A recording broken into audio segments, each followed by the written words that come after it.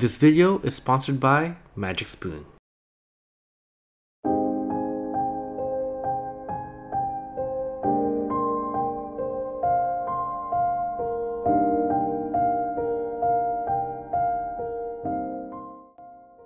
This is a prize catch.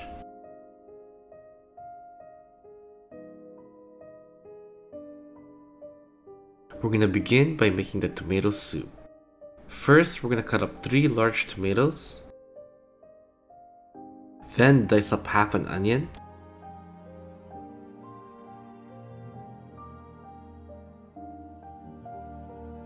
This is about 20 grams of mint. We're gonna give it a rough chop.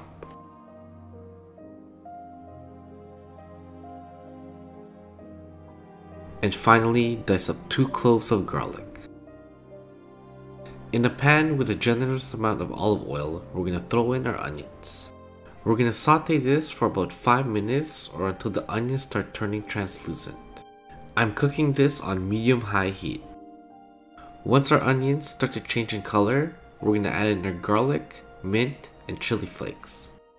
We're gonna saute this for another 3 minutes. After 3 minutes, we're gonna add in all of our tomatoes. We're gonna turn this up to high heat and then saute it for about 10 minutes. We're trying to break down and caramelize the tomato as much as we can. When everything is nice and soft, we're gonna add in 2 liters of vegetable stock. Once all the vegetable stock's in, we're gonna put a lid on this and let it boil for 30 minutes. While we wait for this to finish, let's hear from our sponsor. This video is sponsored by Magic Spoon. Let me introduce you guys to Magic Spoon cereal. What's so special about it? It's delicious and healthy, and that's a combination hard to find. How is it healthy? Each serving will only generate 140 grams of calories, 0 sugars, 4 grams of net carbs, and 13 grams of protein. So what does that mean? That means that this cereal is high in protein, low in carbs, low in sugar, and on top of that, it's gluten free, grain free, and has no artificial flavors or sweeteners. But that's not the best part. Not only is this cereal crunchy and delicious, it has 9 unique flavors that will take you back to your childhood. So if you're like me, looking for a new alternative to eat healthier, but don't want to give up delicious foods, this is the perfect cereal for you. Order now at magicspoon.com slash chefmar and get $5 off the variety pack. Happiness guaranteed or your money back. After 30 minutes of boiling, your tomatoes and onion should have broken down. We're now going to ladle this into a blender. Once we pour everything in, we're going to puree it. I pureed this for about 30 seconds.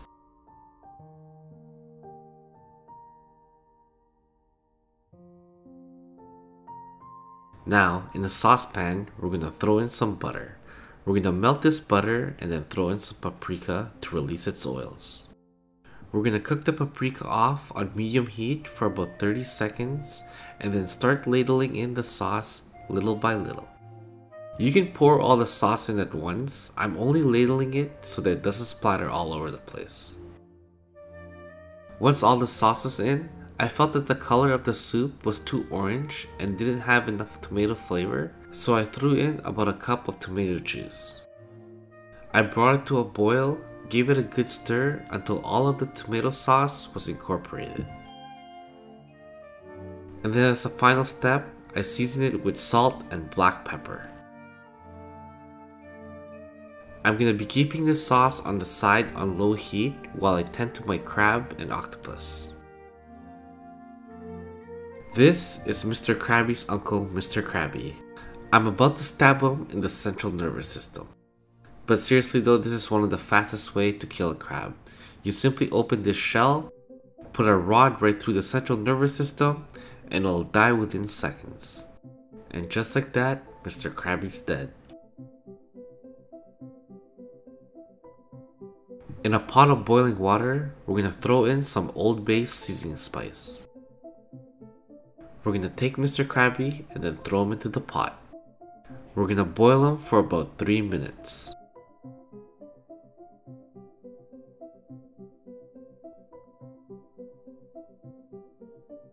After 3 minutes, we're gonna take Mr. Krabby out and set him aside.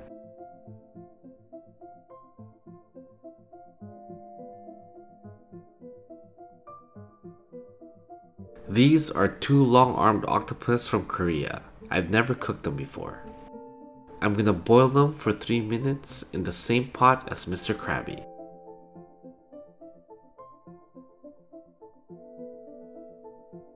After 3 minutes, the octopus should be done. At least that's what Google says. We're gonna take the octopus out of the water and let it cool down slightly. When the octopus is cool enough to handle, we're simply going to cut off its head. And then now let's plate.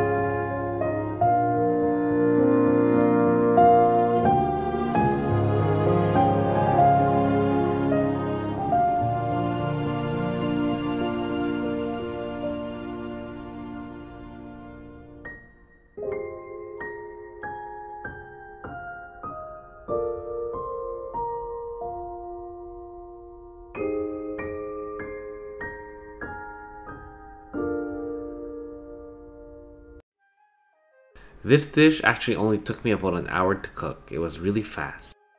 First, let's try out the octopus, see if it's cooked. For this octopus, I only cooked it for about 3 minutes and it was perfectly cooked. I could easily chew right through it. But what's really good was that tomato sauce. What I really want right now is a piece of bread. Unfortunately, I'm in an Asian household and we don't have bread. So now I'm gonna have to eat this with rice. I'm gonna rip off Mr. Krabby's claw, break it apart. I can't do it with my hands, so now I'm gonna have to use my scissors. But real talk though, I'm so annoyed that I don't have a nice piece of crusty bread to dip it in this tomato sauce. I guess I'm just gonna have to settle for this crab meat dipped into this sauce. That's so good. Honestly, this dish was actually really good. I'm quite impressed. Honestly, I kept pushing this dish because I had such low hopes for it. But luckily, it actually tastes good. Anyways, that's it for this episode. I hope you enjoy it.